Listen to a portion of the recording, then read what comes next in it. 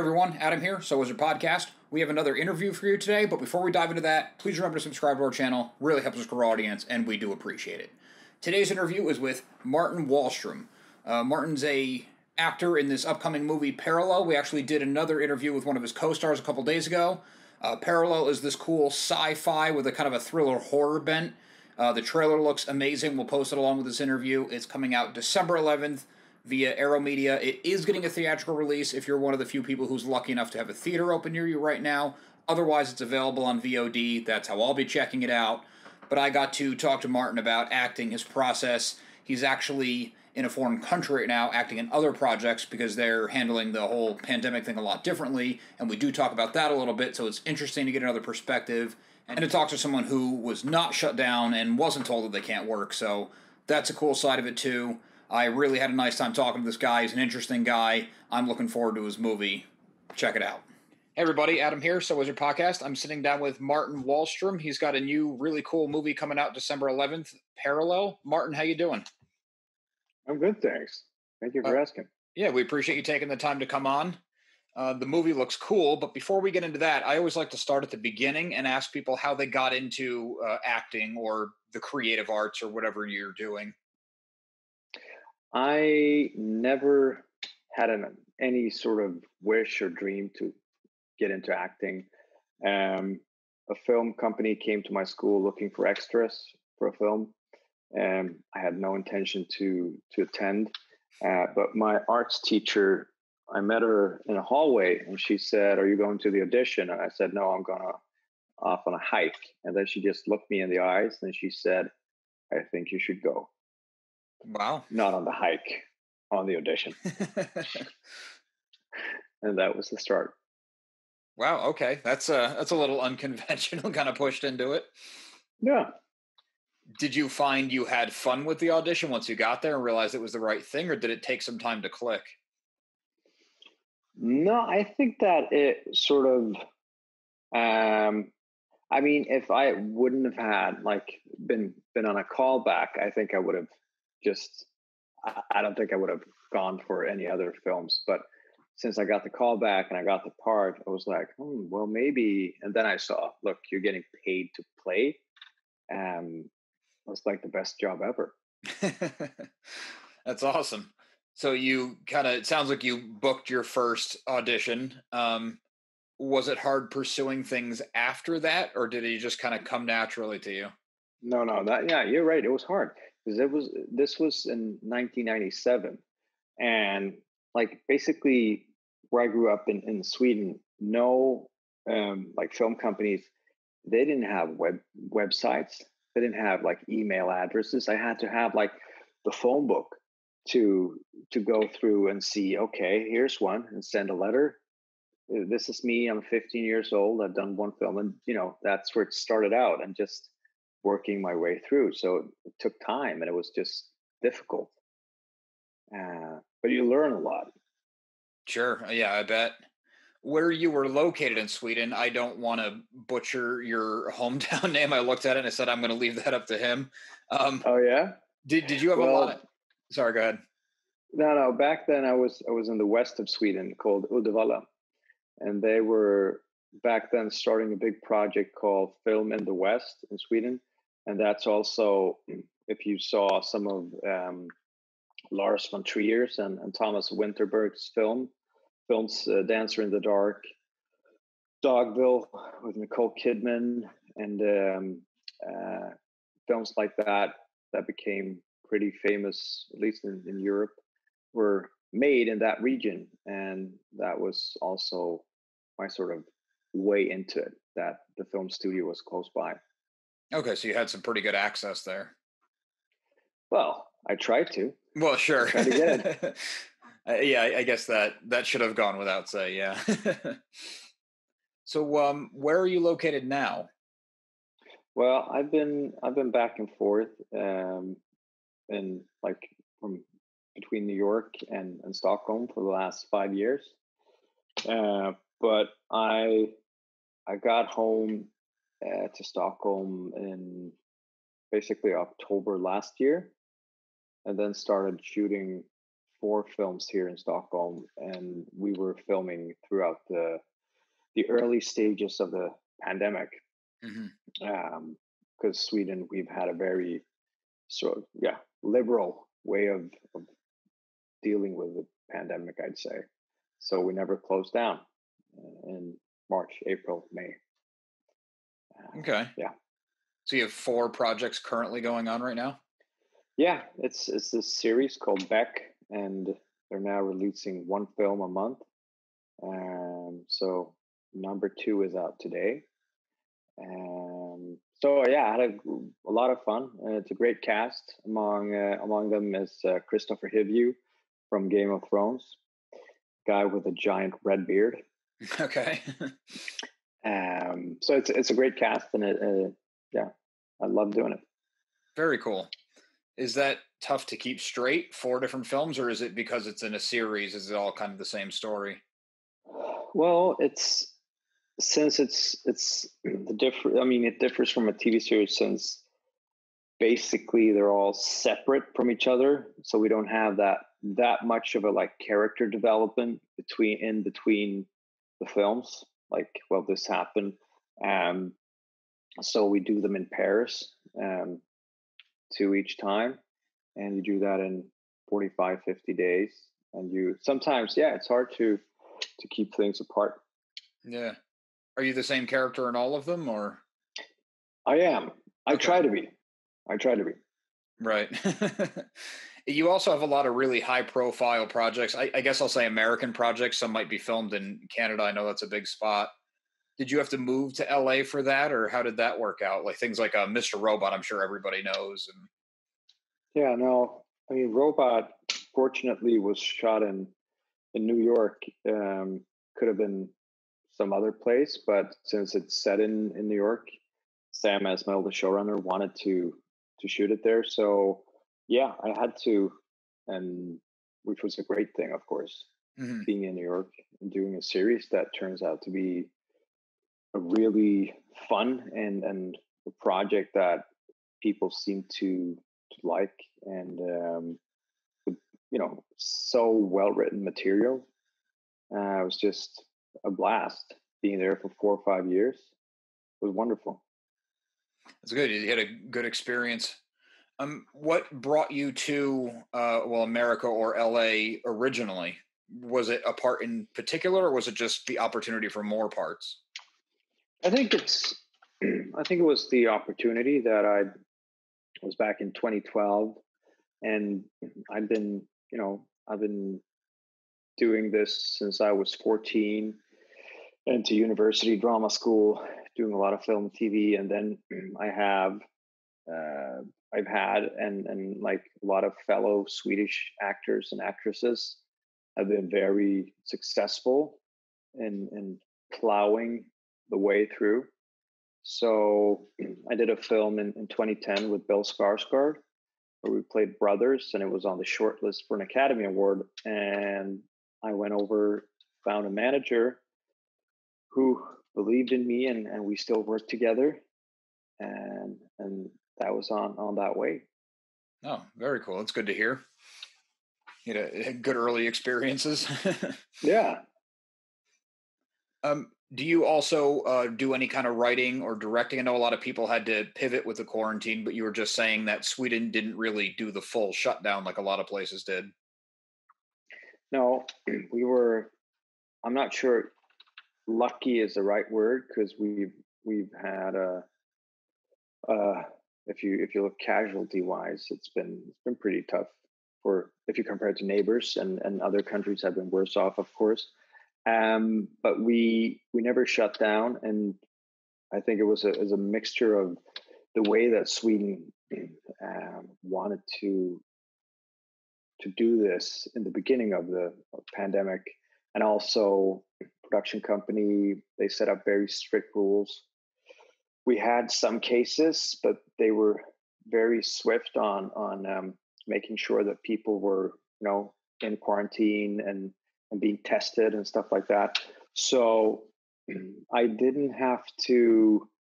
I mean, what I do instead when I'm not like filming I haven't been writing that much, but I've been narrating a lot of audiobooks, uh, which I've done for the last seven or eight years. And I think it's uh, it's a wonderful way because you can do it anywhere in the world. Studios are now they're portable, and it's also it's the maximum concentration work you can do. You have to be in like for one hour, just trying to be in that mode of just like be in the story and also be very relaxed at the same time. So I I, I kind of like that. That's that's really cool. Um, if you don't mind, I'd like to touch on that for a minute. Um, how well first, how did you get into it? Well, I was um, it was like seven or eight years ago. A friend of a friend uh, heard that they wanted um, someone to narrate a book, uh, and it was like they needed a younger voice. And I'm from the west coast of Sweden. This was a diary of two two Swedish journalists who went to um, Ethiopia. I think it was, yeah. And they were imprisoned for 438 days. And so that was their uh, diary. And one of the journalists, uh, journalist, he read his own part, but the photographer was also there. He uh, he wanted to have an actor do it. So they were looking for a voice for that. And I tried out, and got it, and there was uh, the book was very successful, and I started doing more and more. And so now it's like, yeah, it's something I do. I do like five or six books a year, and it's it's a nice way of not having to travel across the world, and you can set up your own schedule. Uh, and I think it's it's it's more and more common and and audiobooks overall I think it's it's becoming bigger and bigger. For sure, yeah. yeah. What is the process like? Do you have to um you get just I'm guessing you don't just get a book and read it out loud. I mean, is it more like a script and you have to go over it in your head a few times before you yeah i try to i try to when i get it, it usually it's on a pdf I want to just read through because you don't want to end up being reading the main character and on the last page of 700 it says well uh, said mark in a, his typically stuttering way. Um, like so so you really want to um, read through and just see get a grasp of what's the story. Um, and then you have to see okay i'm going to do three hours in the studio. Well that'll equalize 60, 70 pages. The day before, you try to prep. Um, it could be, you know, maybe it's a lot of French. You have to look at pronunciations. Um, I do a lot of coloring on the characters. Sometimes it's pretty hard. Like it's four men in a room, and it's not always. It's like, well, said Josh, said uh, Evan. Uh, it's it's um, sometimes you have to use like a lower voice or um, faster pace or something you have to have something for the character but you don't want to overdo it either because it's not it's not theater. When you have a medium which is that close people have you basically in their head. Mm-hmm. you want to be subtle. So that's what i try to do. I mean i try to be subtle and and be prepared uh, and and just not pushing the story onto the listener just try to be like more more soft with it um yeah and then you have to be very you have to be very forgiving uh to yourself because uh, you will do mistakes you will stumble over the same word seven times uh, but I learned that the hard way. If if I get angry, if I get frustrated, it's just going to get worse. So that's the number one thing. You will suck and just accept it. And so that's what I what I try to do. I feel like consistency in that has to be huge because if you end on an upward inflection or something and then the next part doesn't quite stitch together or if you mess up one take but not another and they got to marry the two yeah of course and, and nowadays i mean the technicians and and they're all very skilled. Uh, but again, after doing this for a couple of years, you sort of and it's also important to be very critical when it comes to well, no, this was a little blurry or I mispronounced that one. Just do it again because it'll take you 10 seconds, but it'll be there for you know as long as someone wants to listen to it. Right. Yeah, that's interesting. Uh, have you done any other kind of voice work? Well, I did for. Well, that's secret. Oh, okay. some, soft, some soft, some software stuff. Oh, all right. Uh, but but I can't talk about it. I might get kidnapped, and you know. We'll okay, yeah, but we don't want that to happen.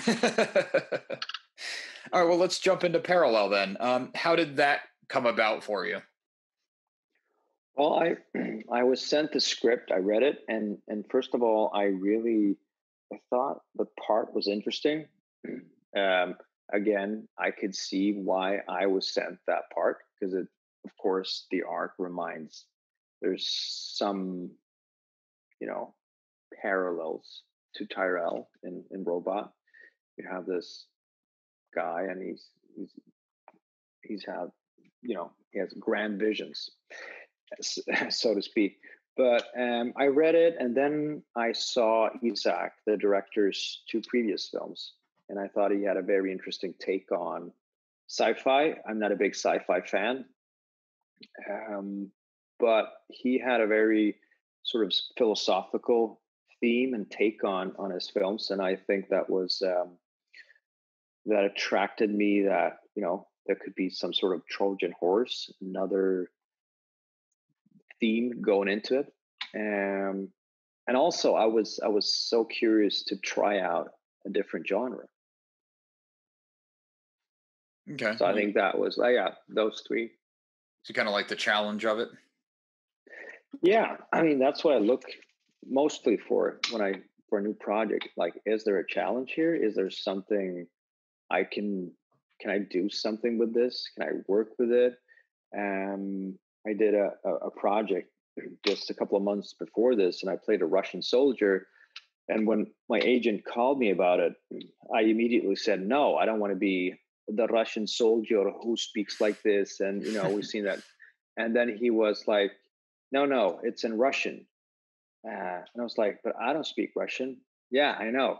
So that to me was the challenge I needed to. Sure, let's do it. So I, I just studied, but I, I, mean I can't speak speak Russian, and and I just had to study these lines for eight weeks as you study. I don't know if you can recite the first 1000 decimals for pi um, you just had to to do it. But that was uh, again that was a good challenge and, and I, I i think i, I saw a challenge in, in this character and script too. Would you say that's something you typically look for in a role is you want to push your boundaries a little bit? Yeah i think so.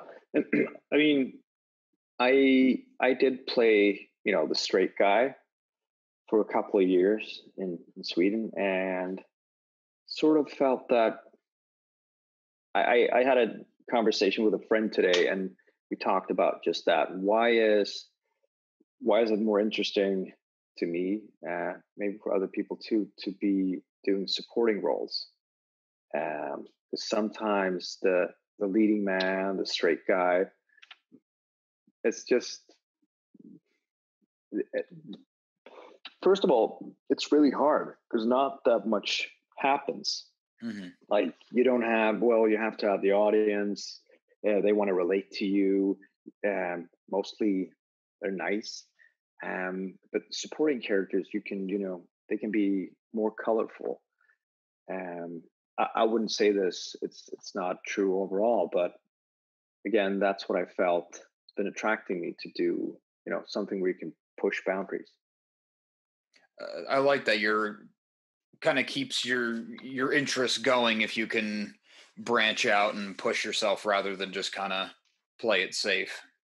Probably helps yeah. you hone your craft too. Yeah and you know i like the feeling that i i wake up in the morning and you know know that today I can really suck if I don't make this work. Sometimes that's a nice feeling. I don't know. I'm I'm I'm 37. Maybe I'll I'll grow up and and, and be comfortable one day. I don't know. Well, you get a career where you can make believe for the rest of your life, so you don't have to. yeah.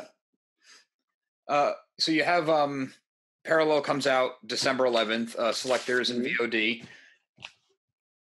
That movie was made a couple of years ago. Do, do you know? Um, I'm trying to think of how to phrase it. I don't want it to sound like a negative, like like it was shelved because I'm sure it wasn't. But just what was the process like since it's been made, getting it out into the world? Well, I think we we did, as you said, we did it, and there was one.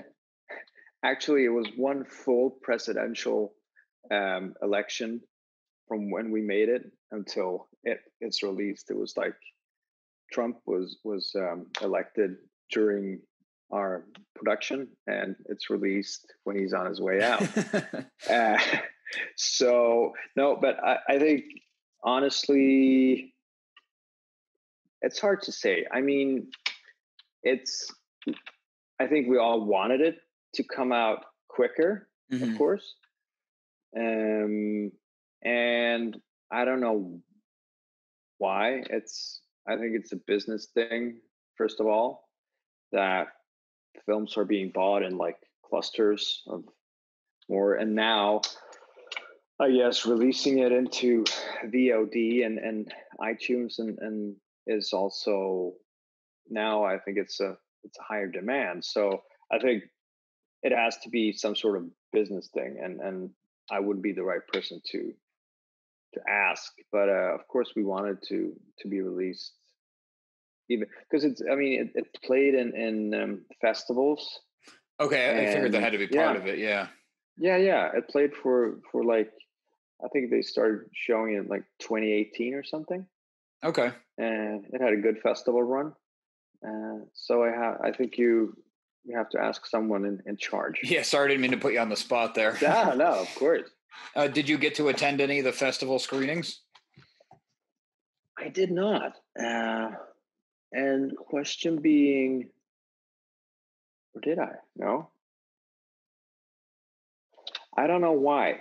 Um, there was one festival in Spain, in just south of Barcelona.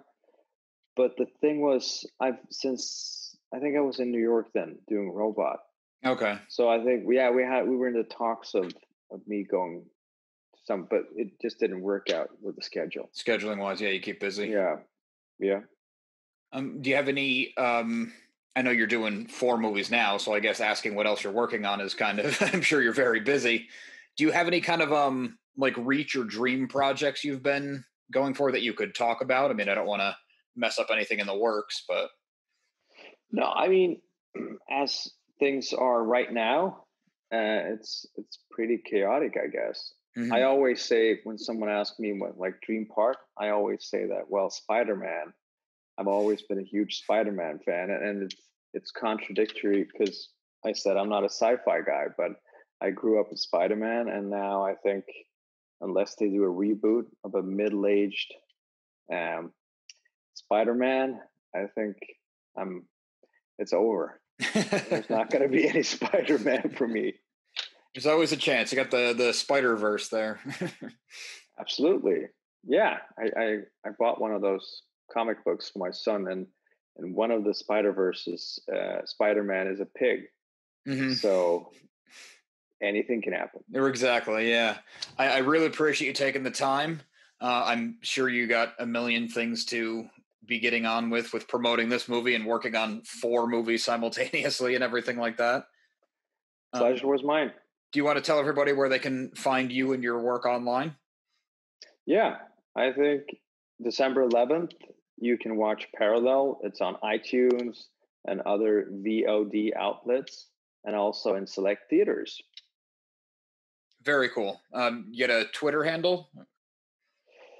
I do. I think people it's I'm I'm missing, but it's um, Martin Wallstrom on Twitter and on Instagram. It's Martin Wallstrom. Very cool. Thank you. Uh, once again, I really appreciate you taking the time. Good luck with everything. Thank you. You too. Have a good one. Bye.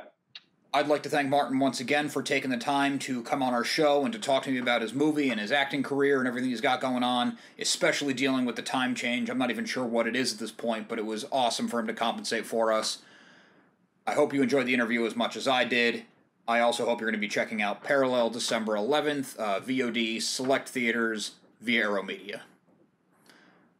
Also, make sure you listen to So Wizard Podcast every single week wherever you get your podcasts. So Wizard Podcast can be found on Patreon, where for as little as $1 a month, you get multiple monthly bonus shows.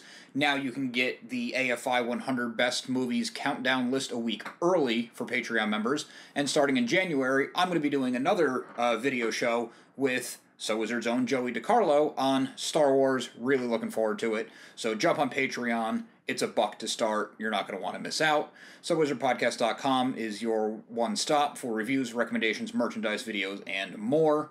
Once again, please remember to subscribe to our channel. Sorry I keep hitting you guys over the head with that, but it really does help, and we really do appreciate it. We love hearing comments, so leave something on social media, drop us a note in the comments here. All accounts can be found after the show and in the show notes. Thanks again.